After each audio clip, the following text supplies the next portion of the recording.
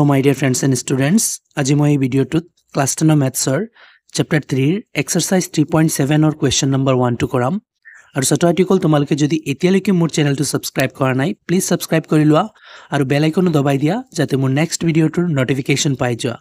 এতিয়া অহা কুৱেশ্যনটো ষ্টাৰ্ট কৰোঁ। চোৱা কুৱেশ্যনে কি কৈছে অলি আৰু বিজুৰ বয়সৰ পাৰ্থক্য তিনি বছৰ। অলিৰ দেউতাক বৰ্মন অলিতকৈ দুগুণ ডাঙৰ। আৰু বিজু তাৰ বনীয়েক মিলিতকৈ দুগুণ ডাঙৰ। মিলি আৰু বৰ্মনৰ বয়সৰ পাৰ্থক্য ত্ৰিছ বছৰ। অলি আৰু বিজুৰ বয়সবোৰ ওলোৱা। ছাত্ৰ ছাত্ৰীসকল কুৱেশ্যনে কি কৈছে মই ভালদৰে বুজাই আছোঁ। চ' কুৱেশ্যনে আমাক ফাইনেলি তলতে গৈ সুধিছে অলি আৰু বিজুৰ বয়স ওলোৱা। তেনেহ'লে ছাত্ৰীসকল চোৱা আমি অলি আৰু বিজুৰ বয়স ওলাব লাগে সেইকাৰণে আমি অলি আৰু বিজুৰ বৰ্তমান বয়সবোৰ ধৰি লৈছোঁ। যিহেতু এই চেপ্টাৰটোত দুটা চলকযুক্ত ৰৈশিক সমীকৰণৰ জোৰৰ চেপ্টাৰ গতিকে দুটা চলক হ'ব লাগে। গতিকে মই অলিৰ বৰ্তমান বয়স এক্স ধৰি লৈছোঁ এটা চলক আৰু বিজুৰ বৰ্তমান বয়স ৱাই ধৰি লৈছোঁ দ্বিতীয় চলক। আৰু এই দুটাই ওলাব লাগে এক্স আৰু ৱাই ওলাই গ'লে অলি আৰু বিজুৰ বয়সবোৰ ওলাই যাব। এতিয়া চোৱা কুৱেশ্যনে কি কৈছে? আৰু এটা কাম কৰোঁ মই কুৱেশ্যনে যি কৈছে সেইটোৰ পৰা মই ইয়াতে সমীকৰণো গঠন কৰি লওঁ। তোমালোকৰ বুজা হৈ যাব আৰু আমাৰ সমীকৰণ গঠন কৰা হৈ যাব। চ' প্ৰথমতে কৈছে অলি আৰু বিজুৰ বয়সৰ পাৰ্থক্য তিনি বছৰ। তেনেহ'লে এইটো কি? একৰ্ডিং টু কুৱেশ্যন চোৱা। মানে প্ৰশ্নমতে চোৱা। অলি আৰু বিজুৰ বয়সৰ পাৰ্থক্য তিনি বছৰ মানে অলিতকে বিজু তিনি বছৰ ডাঙৰ বা বিজু অলিতকে তিনি বছৰ ডাঙৰ। সিহঁতৰ বয়সৰ মাজৰ ডিফাৰেঞ্চ হৈছে তিনি। তেনেহ'লে এইটো কেনেকুৱা লিখিম ছাত্ৰ ছাত্ৰীসকল যদি অলি ডাঙৰ হয় তেনেহ'লে x minus y equal three হ'ব। মানে ছাত্ৰ ছাত্ৰীসকল অলিৰ বয়সতকে বিজুৰ বয়স মাইনাছ কৰিলে তিনি বছৰ হ'ব। এইটো হৈছে এটা কণ্ডিশ্যন ছাত্ৰ ছাত্ৰীসকল ইয়াতে কোন ডাঙৰ কোন সৰু কোৱা নাই। কিন্তু সিহঁতৰ বয়সৰ মাজৰ ডিফাৰেঞ্চ হৈছে তিনি। মানে এজন আনজনতকৈ তিনি বছৰ বেছি ডাঙৰ। তেনেহ'লে কোনজন বেছি সেইটো আমি নাজানো। ইয়াতে যদি অলি ডাঙৰ হয় তেনেহ'লে এইটো হ'ব। তাৰপিছত যদি অলি ডাঙৰ নহয় পেলাই বিজু যদি ডাঙৰ হৈ যায় তিনি বছৰ তেনেহ'লে কেনেকুৱা হ'ব? Y minus x equal three ছাত্ৰ ছাত্ৰীসকল চোৱা ইয়াতে বা লগাই দিওঁ। যদি বিজু তিনি বছৰে ডাঙৰ হয় অলিতকৈ তেনেহ'লে তিনি বছৰ কম হ'ব অলি। এই বিজুৰ বয়সৰ পৰা অলিৰ বয়সটো মাইনাছ কৰিলে তিনি থাকিব। এইটো হৈছে ছাত্ৰ ছাত্ৰীসকল দ্বিতীয় সমীকৰণ। এতিয়া ছাত্ৰ ছাত্ৰীসকল পৰৱৰ্তী ষ্টেপ লৈ যাম।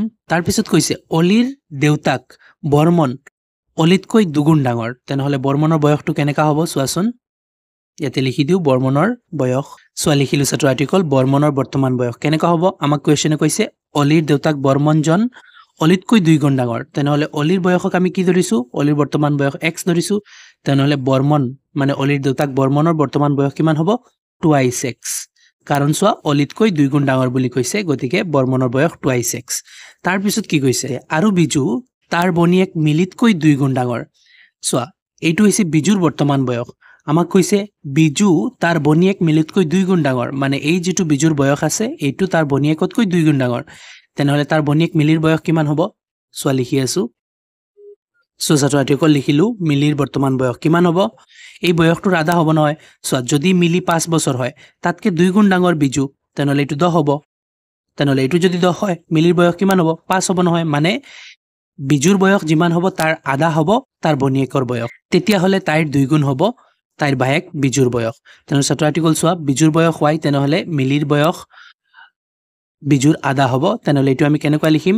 ৱাই বাই টু ছাত্ৰ ছাত্ৰীসকল চোৱা। এই যিটো বয়স আমি মিলিৰ বয়স ৱাই বাই টু ধৰিছোঁ এইটো দুই গুণ কৰি দিলে মানে দুই দি পূৰণ দি দিলে দুই দুই কাটি পেলাই আকৌ বিজুৰ বয়সটো হ'ব নহয়। তেনেহ'লে ছাত্ৰ ছাত্ৰীসকল চোৱা মিলিৰ বৰ্তমান বয়স ওলাই গৈছে ৱাই বাই টু এতিয়া আমি তাৰপিছত কুৱেশ্যনে কি কৈছে চাওঁ। এতিয়া আমাক কৈছে মিলি আৰু বৰ্মনৰ বয়সৰ পাৰ্থক্য ত্ৰিছ বছৰ বুলি কৈছে। চ' ইয়াতে আকৌ দি পেলাই লিখি আছোঁ আমাক কুৱেশ্যনে কৈছে মিলি আৰু বৰ্মনৰ বয়সৰ পাৰ্থক্য ত্ৰিছ বছৰ তেনেহ'লে চোৱা। বৰ্মন ডাঙৰ হ'ব বৰ্মন হৈছে চোৱা এই অলিৰ দেউতাক। আৰু মিলি সৰু হ'ব মিলি হৈছে বিজুৰ সৰু বনীয়েক। তেনেহ'লে বৰ্মন আৰু মিলিৰ বয়সৰ পাৰ্থক্য ত্ৰিছ হ'লে এইটো আমি কেনেকুৱা লিখিম? ডাঙৰৰ পৰা সৰু মাইনাছ কৰিম পাৰ্থক্যত। তেনেহ'লে চোৱা বৰ্মনৰ বয়স হৈছে টুৱাইছ এক্স ইয়াৰ পৰা আমি মিলিৰ বয়সটো মাইনাছ কৰিম। ৱাই বাই টু আৰু এই হৈ গৈছে পাৰ্থক্য। চ' ডাঙৰৰ পৰা সৰু মাইনাছ কৰিলে পাৰ্থক্য ওলায়। পাৰ্থক্য কিমান কৈছে? ত্ৰিছ বছৰ বুলি। গতিকে আমি ইকুৱেলত ত্ৰিছ দি দিছোঁ। বুজি লোৱা ছাত্ৰ ছাত্ৰীসকল বৰ্মনৰ বয়সৰ পৰা মিলিৰ বয়সটো আমি বাদ দিছোঁ ত্ৰিছ ওলাইছে। মানে ত্ৰিছ বছৰ সিহঁতৰ বয়সৰ পাৰ্থক্য হৈছে। এতিয়া ইয়াৰ পৰা আমাৰ নেক্সট সমীকৰণ ওলাব। ছাত্ৰাৰ্থীসকল চোৱা ইমানলৈকে আমি বুজি বুজি সমীকৰণ গঠন কৰি লৈছোঁ। তাৰপিছত কৈছে অলি আৰু বিজুৰ বয়স আমি ওলাব লাগে। অলিৰ বয়স এক্স ধৰি লৈছোঁ আৰু বিজুৰ বয়স ৱাই ধৰি লৈছোঁ। এতিয়া এক্স ৱাই ওলাম আমাৰ অলি আৰু বিজুৰ বয়স ওলোৱা হৈ যাব। এতিয়া আহা ওলাওঁ। চ' ছাত্ৰাৰ্থীসকল এই সমীকৰণটো অলপ আমি ৰৈশিকভাৱে লৈ আহোঁ। চোৱা ইয়াতে তলত দুই আছে দুইটো উঠাব লাগিব। সেই দুইটো উঠোৱাৰ কাৰণে মই এটা কাম কৰোঁ গোটেই সমীকৰণটোক আৰু এবাৰ দুয়েৰে পূৰণ দি দিওঁ তেতিয়াহ'লে ওপৰত দুই আহি যাব দুয়ে দুয়ে কাটি যাব। তেনেহ'লে গোটেই সমীকৰণক দুয়েৰে পূৰণ দি আছোঁ চোৱা। ইয়াতে দুই দি পূৰণ দিলে দুই দুগুণ চাৰি এক্স হৈ যাব মাইনাছ ইয়াতে দুই পূৰণ দিলে দুই এনেকুৱাই পূৰণ দি লিখোঁ দুই পূৰণ যি পদ আছে সেইটোৰ লগত ৱাই বাই টু। আৰু ইকুৱেলত আছে ছিক্স থাৰ্টি থাৰ্টিৰ লগত দুই পূৰণ দিলে কিমান হ'ব? ছিক্সটি হৈ যাব ত্ৰিছ দুগুণ ষাঠি হৈ যাব। এতিয়া চোৱা এই দুইটো অকলে আছে মানে ওপৰত এই দুইটো তলত কাটি গৈছে। ছাত্ৰাৰ্থীসকল চোৱা এনেকুৱা কিবা এটা লাগিলে আমি গোটেই সমীকৰণক পূৰণ দিব পাৰিম। অকল লাগে ইয়াতে দুই ইয়াতে পূৰণ দি দিলে কাটি যায় কিন্তু মেথছৰ নিয়ম এটাত কৰিলে চবত কৰিব লাগিব সেই হিচাপে আমি চবত কৰিছোঁ। এতিয়া চোৱা কটাকটি কৰি বাচিছে কি? ফ'ৰ এক্স বাচিছে তাৰপিছত মাইনাছ ইয়াতে কাটি কুটি ৱাই বাচিছে আৰু ইকুৱেলত আছে কিমান? ছিক্সটি। আৰু এইটোক মই সমীকৰণ থ্ৰী নাম দি দিওঁ। এতিয়া ছাত্ৰ ছাত্ৰীসকল আমি তিনিটা সমীকৰণ পাই গ'লোঁ। এতিয়া ওৱানৰ পৰা থ্ৰী মাইনাছ কৰিলে আমাৰ এক্স ৱাই ওলাই যাব বা টুৰ পৰা থ্ৰী মাইনাছ কৰিলে আমাৰ এক্স ৱাই ওলাই যাব। ছাত্ৰ ছাত্ৰীসকল আমি ওৱান আৰু থ্ৰীৰ লগতো এবাৰ কৰিব লাগিব টু আৰু থ্ৰীৰ লগতো এবাৰ কৰিব লাগিব। কাৰণ চোৱা ওৱান আৰু থ্ৰী যেতিয়া কৰিম তেতিয়া আমি অলিক ডাঙৰ বিজুক সৰু ধৰি পেলাই কৰিম। আৰু টু আৰু থ্ৰী যেতিয়া কৰিম তেতিয়া আমি বিজুক ডাঙৰ অলিক সৰু ধৰি পেলাই কৰিম। কাৰণ ছাত্ৰ ছাত্ৰীসকল দুই ধৰণে আমাৰ কৰিব লাগিব। কুৱেশ্যন আমাক অলি ডাঙৰ নে বিজু ডাঙৰ কোৱা নাই? কিন্তু দুয়োটাৰ বয়সৰ পাৰ্থক্য আমাক তিনি বুলি কৈছে সেইকাৰণে এবাৰ আমি অলিক ডাঙৰ আৰু বিজুক সৰু ধৰি পেলাই কৰিব লাগিব আৰু এবাৰ বিজুক ডাঙৰ অলিক সৰু ধৰি পেলাই কৰিব লাগিব। তেওঁ ছাত্ৰ ছাত্ৰীসকল প্ৰথমতে মই অলিক ডাঙৰ আৰু বিজুক সৰু ধৰি পেলাই বয়সটো ওলাই আছোঁ অলি আৰু বিজুৰ কিমান। তেওঁ ছাত্ৰ ছাত্ৰীসকল চোৱা ওৱানৰ পৰা আমি থ্ৰী মাইনাছ কৰিব লাগিব। থ্ৰী মাইনাছ কৰিলে চোৱা অপনয়ন পদ্ধতিত যাবগৈ আৰু ৱাই ৱাই কাটি যাব এক্স ওলাই যাব। তেনেহ'লে ছাত্ৰ ছাত্ৰীসকল মই অপনয়ন পদ্ধতিতে কৰি আছোঁ আৰু ওৱানৰ পৰা থ্ৰী মাইনাছ কৰি আছোঁ। চ' ছাত্ৰ ছাত্ৰীসকল লিখি লৈছোঁ সমীকৰণ ওৱান মাইনাছ থ্ৰী এতিয়া ওৱানৰ পৰা থ্ৰী মাইনাছ কৰিম গতিকে ওৱানক মই ওপৰত লিখি লওঁ x minus y equal three আৰু ইয়াৰ পৰা আমি মাইনাছ কৰিম সমীকৰণ থ্ৰীক গতিকে ইয়াৰ তলতে আমি সমীকৰণ থ্ৰী লিখি লওঁ four x minus y equal sixty এতিয়া ছাত্ৰ ছাত্ৰীসকল আমি যেতিয়া সমীকৰণ মাইনাছ কৰোঁ তলত যিটো সমীকৰণ থাকে সেইটোক উল্টা ধৰোঁ। যেনেকুৱা এইটো প্লাছ আছে আমি মাইনাছ ধৰিম। এইটো মাইনাছ এইটোক আমি প্লাছ ধৰিম। আৰু এইটো প্লাছ এইটোক আমি মাইনাছ ধৰিম। এতিয়া ছাত্ৰীসকল চোৱা এইটোক যদি মই মাইনাছ ফ'ৰ এক্স ধৰোঁ ওপৰত প্লাছ এক্স ধৰোঁ তেনেহ'লে মাইনাছৰ বেছি আনচাৰ মাইনাছৰ হ'ব। চাৰিটাৰ পৰা এটা এক্স গ'লে তিনিটা এক্স থাকিব। তাৰপিছত এইটো মাইনাছলৈ উল্টা ধৰিলে plus plus y minus y কাটি দিলোঁ। ইকুৱেল এইটো চোৱা প্লাছ ছিক্সটি হ'লে এইটোক আমি মাইনাছ ছিক্সটি ধৰিম। মাইনাছ ছিক্সটি ওপৰত প্লাছৰ থ্ৰী মাইনাছৰ বেছি আনচাৰ মাইনাছৰ হ'ব। আৰু ছিক্সটিৰ পৰা থ্ৰী গ'লে কিমান হ'ব? ফিফটি ছেভেন হৈ যাব।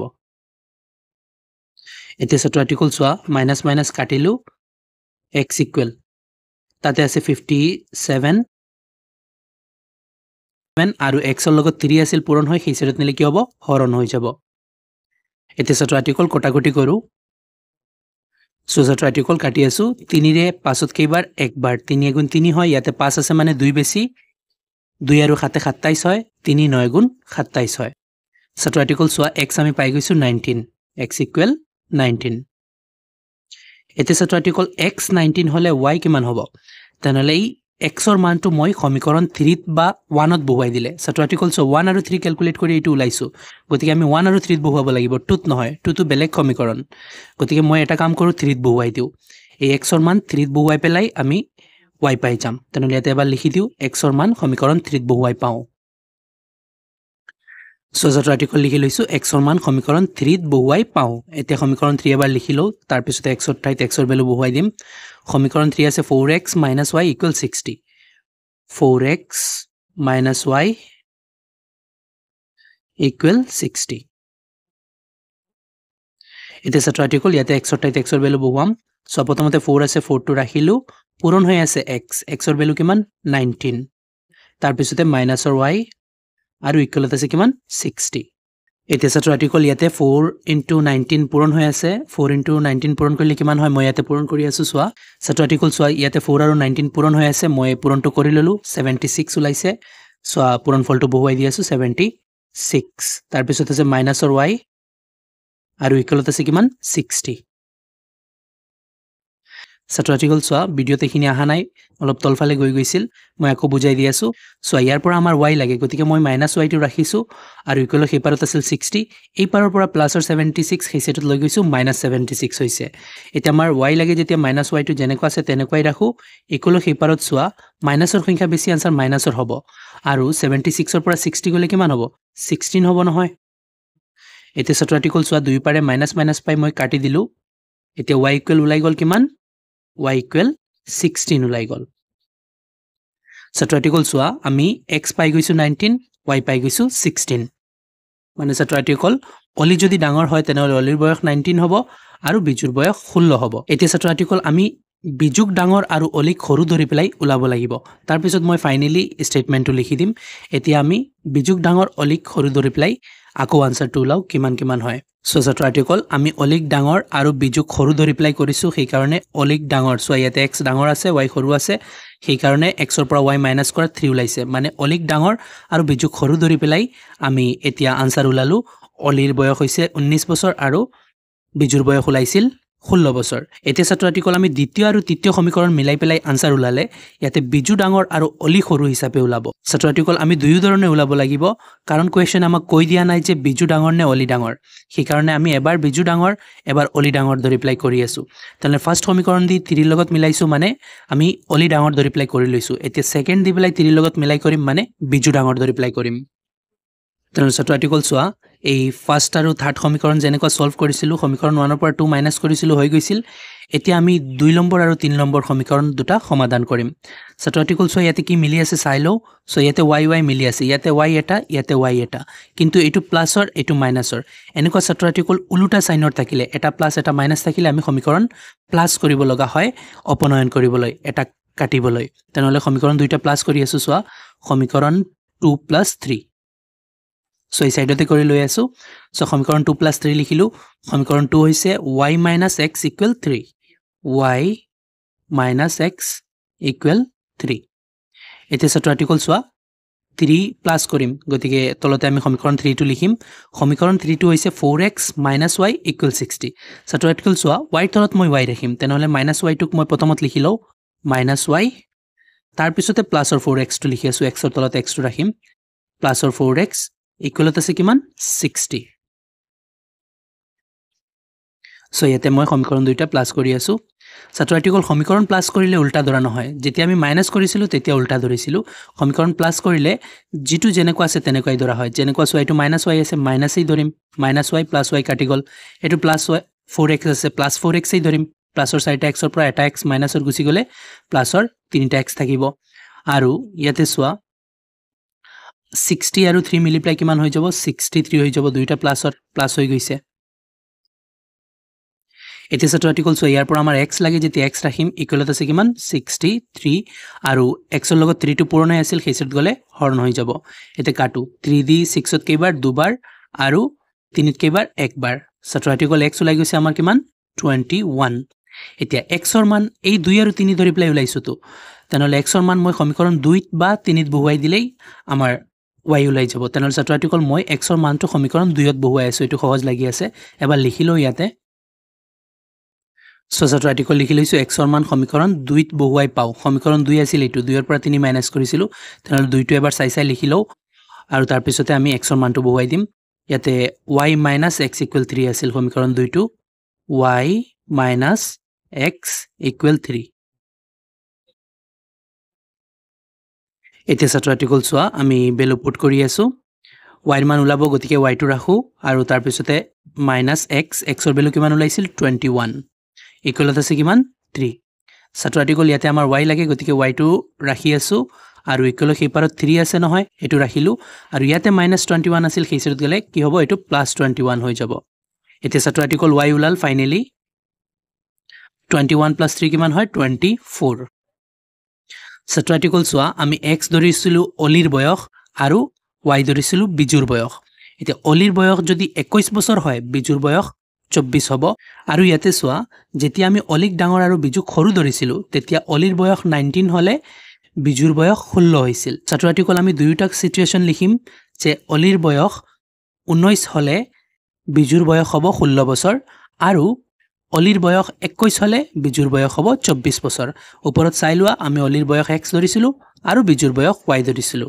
এই এক্স ৱাই হৈছে আমাৰ আনচাৰ। চজাতৰ আৰ্টিকল যিটো কথা কৈছোঁ মই ধুনীয়াকৈ লিখি লৈছোঁ। অলিৰ বয়স ঊনৈছ বছৰ হ'লে বিজুৰ বয়স ষোল্ল হ'ব ইয়াতে ওলাইছিল প্ৰথম কণ্ডিশ্যনত। তাৰপিছত বা অলিৰ বয়স একৈছ হ'লে বিজুৰ বয়স টুৱেণ্টি ফ'ৰ হ'ব ইয়াতে ওলাইছে। ছাত্ৰ আৰ্টিকল চোৱা ইয়াতে অংকটো সমাপ্ত হৈছে। আশা কৰোঁ তোমালোকে ভালদৰে বুজিব পাৰিছা। আৰু বুজাত যদি কোনো ধৰণৰ অসুবিধা হয় মোক কমেণ্টত জনাবা। ভিডিঅ'টো ভাল লাগিলে লাইক এণ্ড শ্বেয়াৰ কৰিবা। আৰু চেনেলটো ছাবস্ক্ৰাইব কৰি দিবা। Thank you.